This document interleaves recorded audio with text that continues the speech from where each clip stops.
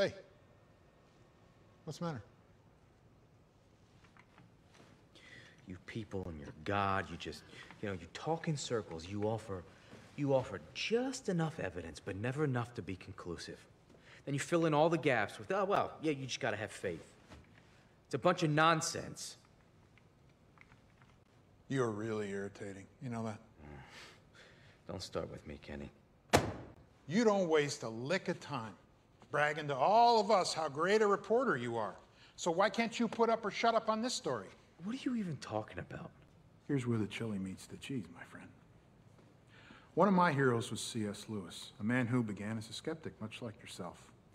At the end of his journey, you know what he said? He said, if Christianity is false, it's of zero importance. But if it's true, there's nothing more important in the entire universe. So you want your wife back? Well, hey, guess what? People in hell want ice water. Not everybody gets everything they want. Stop blaming me and the church and God and do your job. Stack up the evidence, follow the facts, and write the story, win or lose.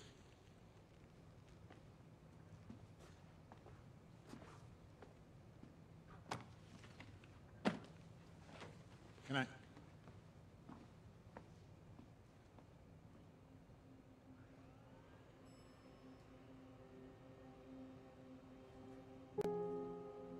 Father, please, please soften Lee's heart.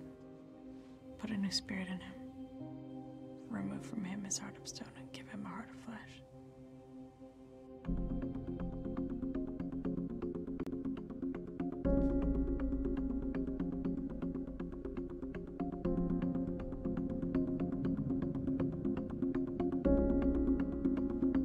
The only way to truth is through facts. The entire Christian faith hinges on the resurrection of Jesus. If it didn't happen, it's a house of cards. You just have to show that Jesus died and was seen after. How can we be sure of the reliability of those manuscripts? Archaeologists have recovered 5,843 Greek New Testament manuscripts. Nothing else in history even comes close. You trust the Journal of the American Medical Association? Yes, Jesus Christ died on that cross. You're not telling me what I hope to hear today. What if it is true? Wouldn't you want to know that? The first recorded account tells us that he was buried in a tomb. The empty tomb is based on evidence. Isn't evidence your trade? Faith is the evidence of things we can't actually see. Any careful historian will see that the core account is consistent, even if a, a few of the secondary details are told from different perspectives.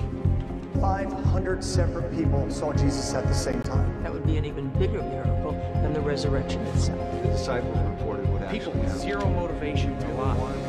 When is enough absence enough evidence? I felt something that is maybe more real than anything I've ever felt in my life. This is not a condition anymore. Still takes a leap of faith. But why would he do it? It's really very simple. Love.